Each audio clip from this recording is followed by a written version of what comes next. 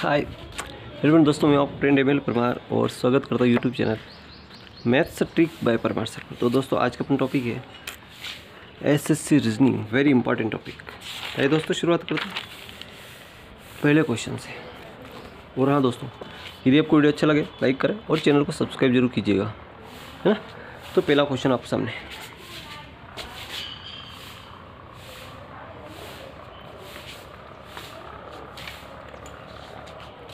पहला क्वेश्चन आप सामने कि एक थैले में पचास, एक रुपये देखो।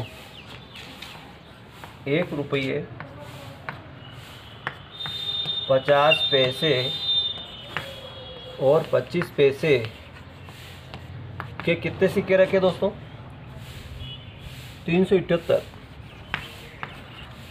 तीन सौ इठहत्तर सिक्के रखे हुए हैं, ठीक है? अब जिनका मूल्य, अब सिक्कों का अनुपात नहीं है। यहाँ केवल सिक्कों का अगर अनुपात कहे तो बात अलग होती है। सिक्कों का अगर अनुपात कहे तो ऐसे ही अनुपात निकाल देना। देखो, पहला अनुपात है तेरह, अनुपात ग्यारह। देखो, तेरह, अनुपात ग्यारह, अनुपात सात। ठीक है? ये सिक्कों का अगर अनुपात कहे तो इसी अनुपात पे अपनों को सोल्व करना है ना? लेकिन उसने कहा कि मूल्य इसने क्या कहा? सिक्कों का मूल्य अनुपात में, मूल्य। जो मूल्य दे दे तो फिर बात करेंगे। दोस्तों, एक रुपये में एक सिक्का होता है। एक रुपये में एक ही सिक्का होता है। ठीक है, इसको एक से मल्टीप्लाई करेंगे। यहाँ पे दोस्तों,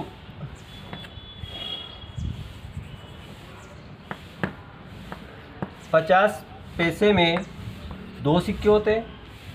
इसी तरह पच्चीस पैसे में चार सिक्के होते हैं। पच्चीस पैसे में कितने सिक्के होंगे दोस्तों? चार सिक्के होंगे। और एक रुपये में एक ही सिक्का होता है। एक का गुणा करेंगे, दो रुपये में पचास पैसे के दो सिक्के होते हैं। दो का गुणा करेंगे, पच्चीस पैसे के चार सिक्के होते हैं, चार का मल्टीप्लाई करेंगे। ठीक? आगे देखते हैं। तो इसका गुणा करेंगे तो तेरह एकम तेरह, ग्यारह दोनों बाईस, और सात चौक अट्ठाईस। और ये अनुपात है अपना तीन सौ इठहत्तर के लगभग, बराबर है। इनको जोड़ेंगे आठ ने दो, दस ने तीन, तेरह का तीन। हँसी लाया एक। और, दो दो, चार ने एक, पाँच ने एक छः तिरसठ अनुपात थ्री सेवन एट तो थ्री सेवन एट को इसको अगर काटेंगे तो दोस्तों यहाँ पे अपन एक्स ले लेते हैं। तो एक्स बराबर तीन सौ इठहत्तर बटा तिरसठ। और नौ से काटेंगे, नौ, सती, तिरसठ। नौ चौक छत्तीस और नौ दून अट्ठारह सात से काटेंगे सात छः बयालीस। यानी कि एक्स बराबर आया छः एक्स बराबर कितना आया दोस्तों? छः आ गया। एक अनुपात का मान छः हो गया। ठीक? ये ध्यान रखना। अब आपने पूछा कि पचास पैसे के सिक्के कितने हैं? तो पचास पैसे का अनुपात दोस्तों बाईस है। पचास पैसे का अनुपात कितना है अपने पास? बाईस है। तो यहाँ बाईस से मल्टीप्लाई करेंगे बाईस छंग एक सौ बत्तीस, इसका राइट आंसर अगर वो एक रुपए के सिक्के की बात करें तो यहाँ छः से मल्टीप्लाई कर दें तो तेरह छंग इठहत्तर हो जाएगा। है ना? तेरह छंग इठहत्तर हो जाएगा, बाईस छंग एक सौ बत्तीस हो जाएगा। और अट्ठाईस में अगर छः का गुणा करें, पच्चीस पैसे का अगर सिक्के अगर पूछे तो वो भी अपन निकाल सकते हैं। देखो, पच्चीस आटे दो सौ सॉरी छः छः आटे अड़तालीस का आठ हंसला चार छः दून बारह और चार, बारह और चार सोलह, एक सौ अड़सठ। तो तीनों प्रकार के सिक्के एक रुपए के इठहत्तर सिक्के, पचास पैसे के एक सौ बत्तीस और एक सौ अड़सठ, पच्चीस पैसे के एक सौ अड़सठ सिक्के आई होप की क्वेश्चन अच्छी तरह सुनने आ गया होगा।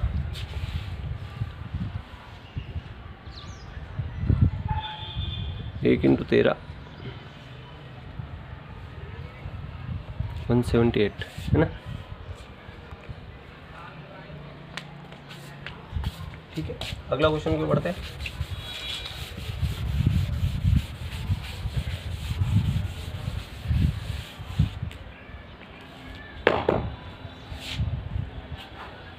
अगला क्वेश्चन देखिए। साठ लीटर दूध और पानी के मिश्रण में अनुपात तीन अनुपात एक है और इसको दो अनुपात एक करने के लिए कितना पानी मिला जाए? देखो सिक्सटी लीटर। इसका है मिल्क एंड वाटर। का जो अनुपात है, तीन अनुपात एक। अब यहाँ तीन अनुपात एक से अपन क्या करें पहले मिल्क निकाल लेंगे। तो मिल्क कितना होगा? तीन है, कितना होगा? चार। तो साठ बटे चार इंटू तीन, एक। तो से काटा पंद्रह। पंद्रह तिया पैंतालीस। दूध कितना हो गया? पैंतालीस लीटर हो गया। जब पैंतालीस ये तो ये कितना हो जाएगा? पंद्रह। पानी कितना हो जाएगा? पंद्रह लीटर हो जाएगा। अभी क्या कह रहा है, कितना पानी और ऐड किया जाए कि अनुपात दो, अनुपात एक हो जाए।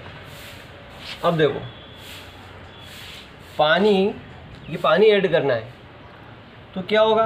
पहले तो पैंतालीस होगा बट्टा ये तो पंद्रह लीटर है ही। सही अब इसमें मान लो कि एक लीटर पानी ऐड करेंगे तो दो अनुपात एक हो जाएगा। ये ध्यान रखना। अगर एक लीटर पानी ऐड करेंगे तो दो अनुपात एक हो जाएगा। ये अनुपात। इसका मल्टीप्लाई करेंगे पैंतालीस से कम पैंतालीस, पंद्रह दूना तीस। प्लस दो एक्स बराबर पैंतालीस। और दो एक्स बराबर पैंतालीस माइनस तीस घटाएँगे तो पंद्रह बट दो एक्स और एक्स बराबर पंद्रह बटा दो दो से भाग लगाएँ तो दो, सात चौदह, दो पाँच दस। सात दशमलव पाँच लीटर।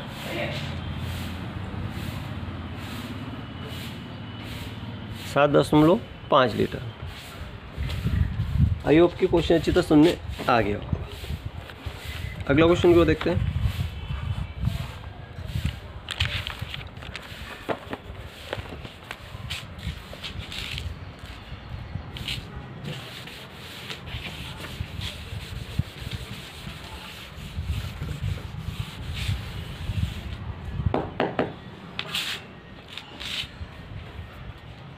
पैंतीस लीटर मिश्रण में दूध और पानी का मिश्रण, देखो।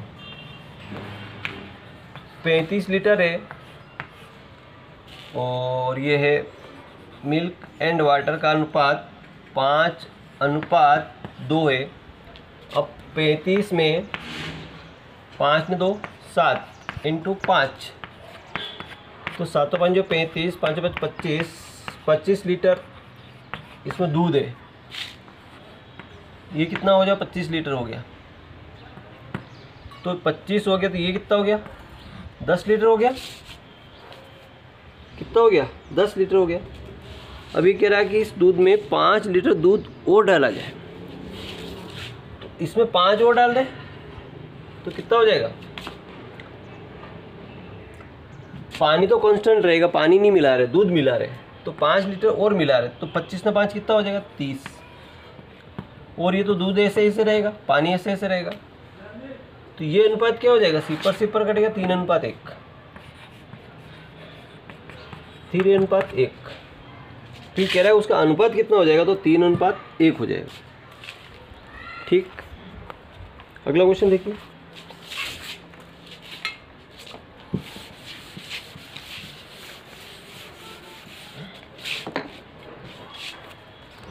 आपके पास एक हज़ार चालीस रुपये है।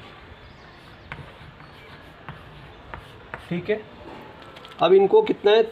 आपको बराबर भागों में बांटना है। देखो टू ए बराबर थ्री बी बराबर फोर सी तो ए और बी सी का तीनों का भाग कितना होगा? ये इस अनुपात में बांटना है। तो क्या करेंगे? कुछ नहीं करेंगे। दो, तीन, चार। इसका एल्शियम लेंगे, देखो। दो, तीन, चार कैल्शियम लेंगे तो कितना आएगा? दो से लगा एक, तीन बच्चा दो दूनी चार। तीन से लगाया एक, दो बच्चा दो से लगा एक, दो तीन छः दून बारह। एलसीएम कितना है? बारह आ गया। एक पर्टिकुलर संख्या अपने पास बारह आ गई, जो तीनों में कॉमन है। तीनों में कामन है है ना? इस बारह का यहाँ से भाग लगा देंगे, बारह का यहाँ पे भाग लगाएँगे, बारह का भी यहाँ पे भाग लगाएँगे। दो से कटेगा, दो छंग बारह, यानी कि ए बटा छः आ जाएगा। तीन से कटेगा, तीन चौक बारह, बी बटा चार आ जाएगा। और चार तरी बारह, चार, सी बटा तीन आ जाएगा। तो ए बी सी का अनुपात छः अनुपात चार, अनुपात तीन हो जाएगा। ठीक। इस अनुपातिक पहलू को जोड़ लो छः चार, दस ने तीन, तेरह। तो एक हज़ार चालीस बटा तेरह और ए का हिस्सा निकालना है तो ए का अनुपात कितना है? छः तेरह पंजे पैंसठ तेरह छः तिरसठ करोड़ तेरह एक सौ चार अस्सी आ गया। आठ छः अड़तालीस, चार सौ अस्सी। एक का हिस्सा कितना होगा? चार सौ अस्सी हो जाएगा।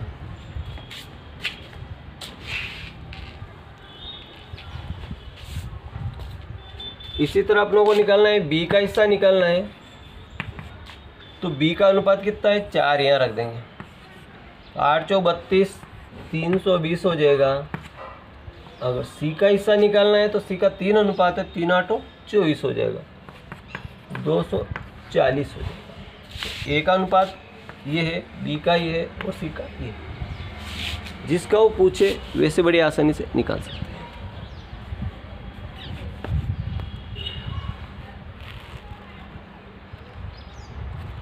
अगला क्वेश्चन आप समझ दिया दो सौ निन्यानवे रुपये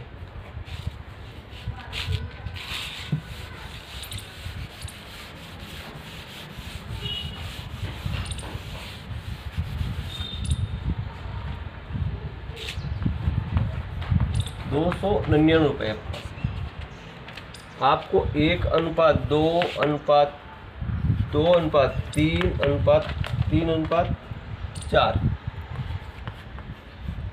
के अनुपात में इसको बांटना है? तो कैसे बांटेंगे? देखो तो दो, तीन, चार का एल्सियम क्या होगा? एक कॉमन संख्या, तीन चौक बारह, है ना? आठ, नौ, बारह। तो दोस्तों, यहाँ पे भी अपन बारह का मल्टीप्लाई करेंगे। बारह का मल्टीप्लाई यहाँ करेंगे और बारह का मल्टीप्लाई यहाँ करेंगे। दो से कटेगा दो छंग बारह तो छः आएगा। तीन से कटा तीन चौक बारह, चार दूनी आठ हो जाएगा। चार तिया बारह, तीन तिया नौ हो जाएगा। ये तीनों का अनुपातिक पहलू आ गया। अनुपात अब समान, समानुपात हो गए। बराबर बटने वाले नहीं रहे। आठ ने छः, चौदह, देखो, आठ ने आठ, सोलह, सत्रह सत्रह छः, तेईस। योग कितना है दोस्तों इसका? तेईस आ गया। योग कितना आ गया? तेईस आ गया। और दो सौ निन्यानवे, देखिए। दो सौ निन्यानवे बटा तेईस इंटू। ये कबा कितना है? छः। तेईस एकम तेईस तेईस तीन उनसत्तर तेरह आ गया. और तेरह छंग अठहत्तर सेवेंटी एट रुपीज़ ये वाले के बाद अठहत्तर रुपये आ गया. दूसरा देखते हैं. दो सौ निन्यानवे बटा तेईस इंटू दूसरे का भाग है आठ. और यहाँ काटा तो तेरह आया. और तेरह बजे पैंसठ तेईस तीस तक को तेरह एक सौ चार. एक सौ चार आ गया. इसी तरह अगला है। नौ। तेरह आठ एक सौ चार, तेरह नंबर एक सौ सत्रह। तेरह नंबर एक सौ सत्रह। तो दोस्तों, तीनों का अलग अलग हिस्सा कितना होगा? पहले का इठहत्तर एक सौ चार और एक सौ सत्रह। तीनों का अलग अलग भाग आ जाएगा। होप की क्वेश्चन अच्छी तरह समझ आ गया होगा। थैंक यू दोस्तों। वीडियो अच्छा लगा लाइक कर। चैनल को सब्सक्राइब करना भूलें।